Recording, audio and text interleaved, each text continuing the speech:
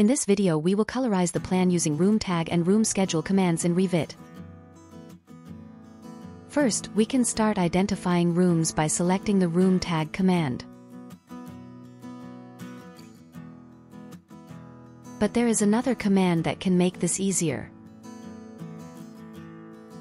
After selecting the room tag command if we select the ePlace rooms automatically command, all rooms will be placed automatically. Now we can edit according to ourselves.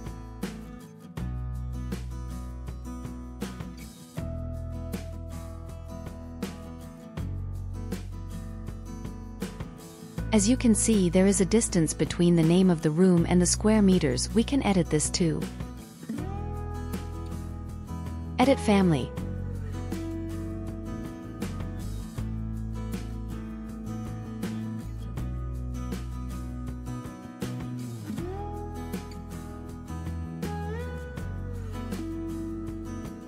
Load into project.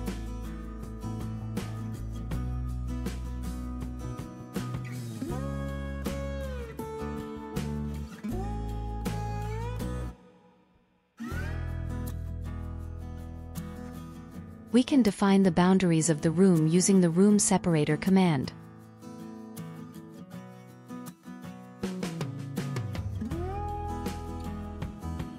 As you can see we have defined the boundaries of the room and now we can use it as if there were two different rooms.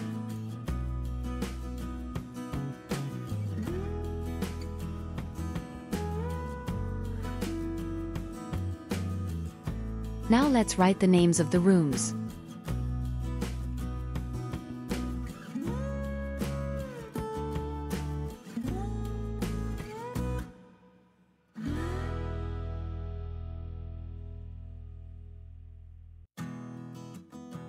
As you can see we cannot use the room tag command because this is not a closed area.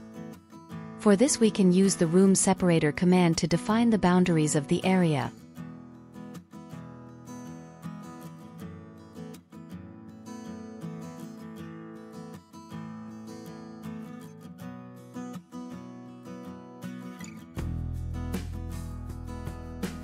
Now we will use the room schedule command to express the areas with colors.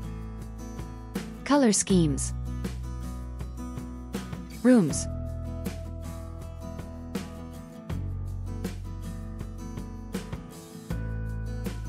Let's make it visible now. Analyze.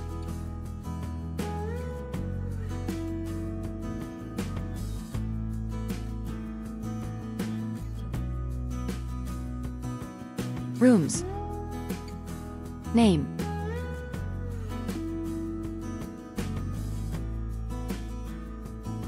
You can change the size.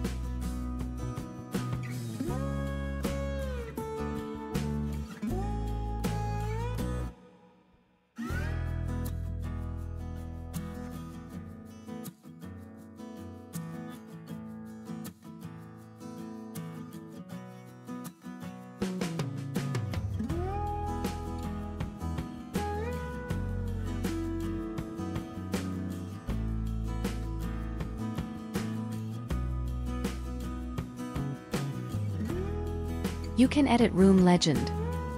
Edit scheme. You can change the order of the names of the rooms.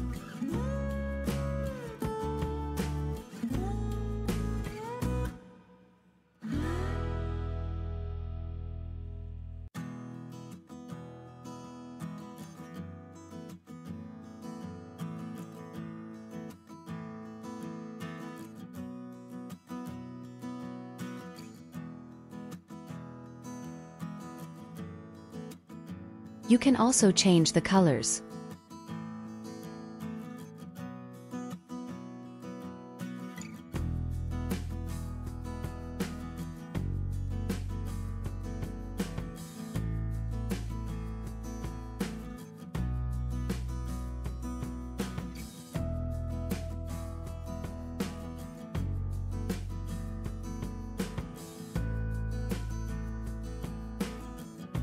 you can change the pattern.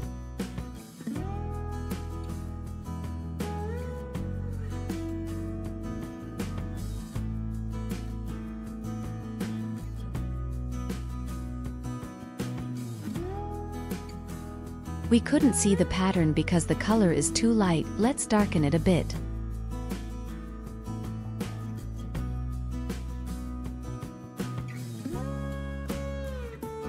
Now we can see the pattern. In this video I tried to make a visualization using room tag and room schedule commands. I hope it was helpful.